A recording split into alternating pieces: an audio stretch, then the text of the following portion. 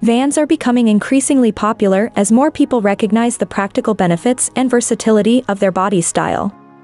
Chinese automaker GAC has presented its vision for the future of this segment with the van life concept.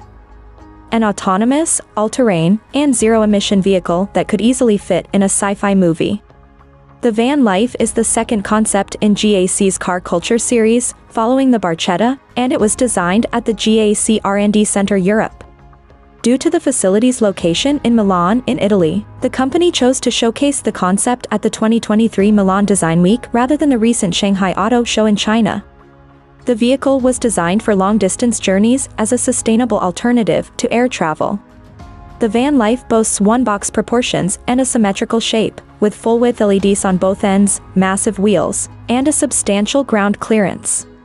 The clean surfacing and small windows give it the appearance of an extraterrestrial expedition vehicle, ready to tackle rough terrain throughout our solar system.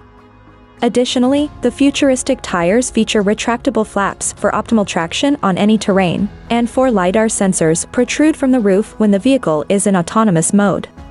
Interestingly, the autonomous function can be used anywhere in the world as the fictional system uses the position of stars in the sky to navigate, the concept rides on a fully electric platform with next-gen solid-state batteries, providing it with extended range, and improving its environmental credentials.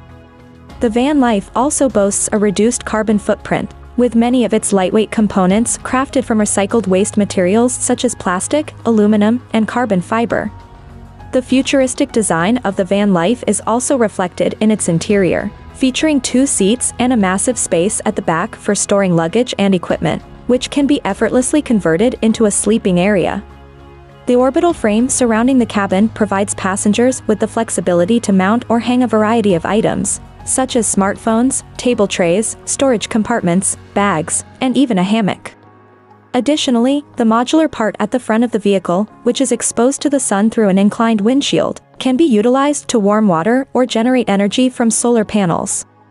Access to the van life's cabin is provided by suicide doors on one side of the vehicle, while a panoramic sunroof allows plenty of natural light to flood the interior, compensating for the absence of side windows. Another noteworthy feature of the concept is the sliding benches that create a seating area directly adjacent to the vehicle, expanding the living area to the outdoors. While the van life concept is not intended to preview a future production vehicle, it serves as a testament to the designer's boundless creativity and imagination. Nonetheless, we anticipate that vans will soon emerge as a genuine alternative for adventure seekers, competing with traditional SUVs and pickups.